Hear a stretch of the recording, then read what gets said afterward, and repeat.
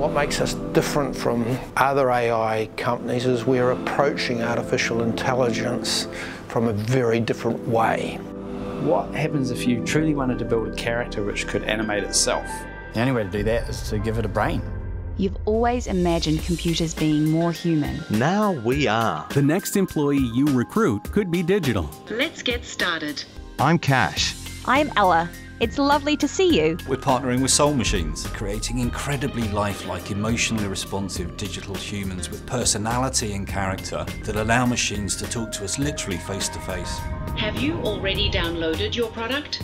Yes, I have. You are already one step ahead. And the whole purpose is really to investigate, to explore the role that digital humans can play in improving the customer experience. It was like talking to a real person.